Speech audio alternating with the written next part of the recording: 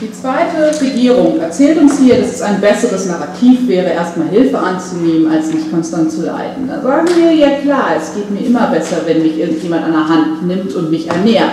Das funktioniert bestimmt so lange, solange die Hand da ist. Und wir glauben, vielleicht funktioniert das ganz kurzfristig. Also selbst wenn wir annehmen, dass das kurzfristig funktioniert, die erste Opposition hat da ja schon Zweifel dran genommen, angemerkt, was diese Regierung hier alles möchte, dass also kurzfristig Stabilität einkehrt in diesem Land und kurzfristig, solange die Besatzungsmächte, nein, sorry, die Kolonialmächte der UN da sind, da auch Sicherheit herrscht, die Sicherheit des Friedens, also Peace of the Gun, wie das so schön im Englischen heißt, glauben wir von der zweiten Opposition, dass selbst wenn wir diese kurzfristige Annahme kaufen, wir jedenfalls keinen langfristigen Frieden erreichen können, weil wir kein stabiles Staatsvolk schaffen können im Sinne der Staatenlehre, also gar keinen Staat bauen können hier auf die Art, wie das funktioniert.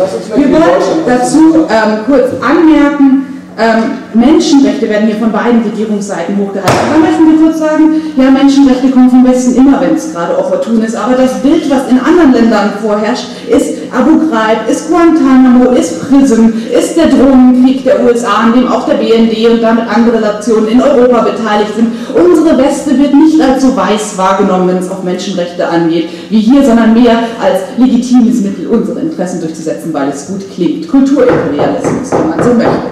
Die Regierung sagt, wir sind heute besser als im 19. Jahrhundert, weil wir nicht mehr sagen, wir Weißen sind die besseren Menschen, und müssen die Schwarzen mal so ein bisschen an die Zivilisation ranführen. Nein, heute sagen wir, wir Westlichen haben die besseren Institutionen und müssen mal unsere Institutionen, unser Kulturverständnis in der Welt verbringen. Unseres Erachtens ist es immer noch genau der gleiche Kulturimperialismus, jetzt vielleicht auf einem etwas höheren Level, etwas schwerer zu erkennen, dass es Diskriminierung ist, aber im äh, Sinne immer noch eine Unterdrückung der ursprünglichen Kultur. Und wir sagen eben, Hilfe annehmen, ja okay, aber nicht in permanenter Abhängigkeit, das ist den Preis nicht wert. Wir wollen langfristige Stabilität in Failed States, weil sonst verlagern wir das Problem nur 40 Jahre nach vorne und verstiefen es dadurch, weil noch mehr Resistenzen auftauchen. Und wir glauben übrigens noch ein kurzes, warum wir schon glauben, dass es kurzfristig nicht funktionieren wird. Hier wird über Hongkong geredet als ein erfolgreiches Beispiel. Das ist ziemlich klein mit einer Ethnie da drin, im Wesentlichen Chinesen nämlich.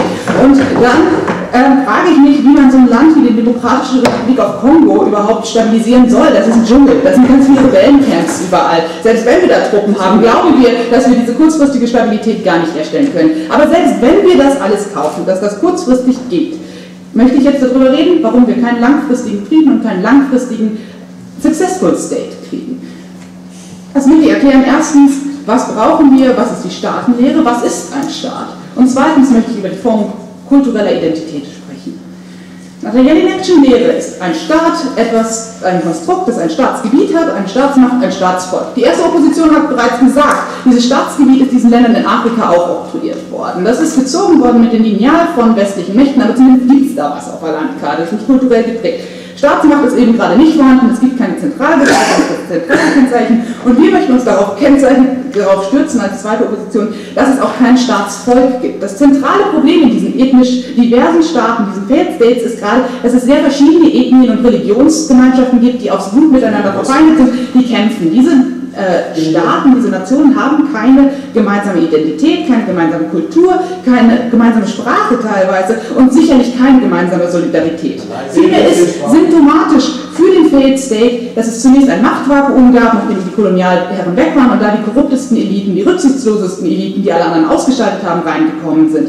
Und diese sind seitdem beschäftigt, Machtkämpfe mit anderen auszufechten, die ihnen diese Macht streitig machen wollen. Das heißt, es ist kein Geld da, in langfristige Stabilität zu investieren, sondern es geht immer nur um den Machterhalt einer konkreten Elite. Es gibt auch kein Interesse daran, in das Gemeinwohl zu investieren, weil das könnte immer den anderen Warlords gut geschrieben werden. Es geht immer nur um den eigenen Machterhalt und man versucht so viel wie möglich von der Bevölkerung um sich als Warlord zu scharen und das funktioniert, weil es eben kein Narrativ eines gemeinsamen Staates gibt. Das heißt, wir identifizieren als zentrale Lösung, wenn wir ein gemeinsames Staatsvolk bilden können, das sich mit einer gemeinsamen Identität abfinden kann, dann lösen wir das Problem der Warlords. Solange es ein nicht einheitliches Staatsvolk gibt, können wir auch das Problem der Warlords nicht lösen. Boom.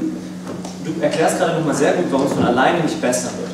Warum denkst du nicht, dass wir, oder denkst du nicht, dass wir gezeigt haben, dass wenn man keine Angst hat, überfallen zu werden von irgendwelchen Milizen und nicht zur Schule gehen kann, man eher keinen Staat gründet, wenn man diese Möglichkeiten hat, auch durch eine Koloniale, ja, ein Staat wahrscheinlicher wird? Danke, wir haben das seit 40 Jahren probiert. Also die Kolonien sind halt abgeschafft worden nach dem Zweiten Weltkrieg und seitdem versuchen wir das mit Entwicklungshilfe.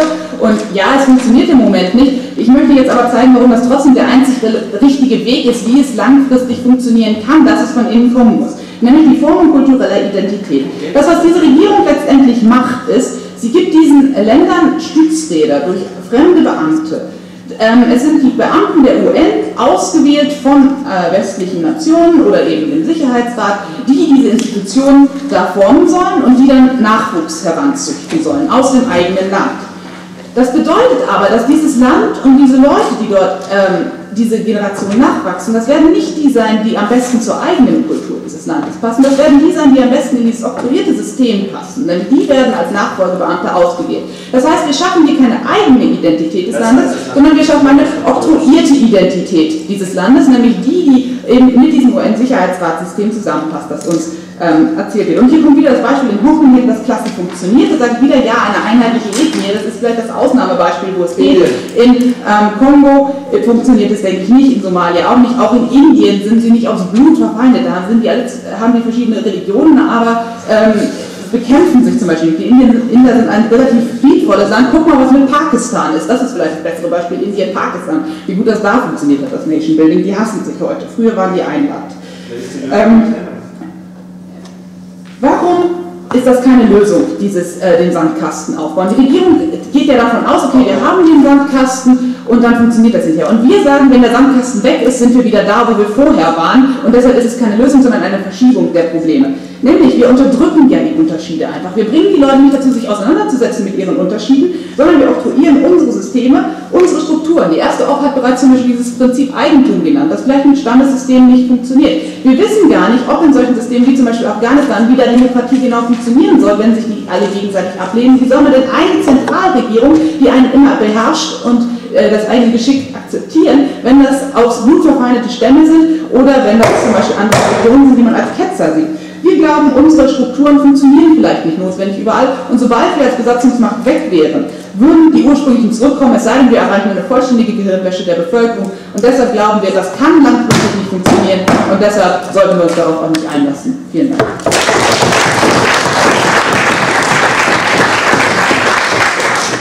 Ich danke dir vielmals für deine Rede.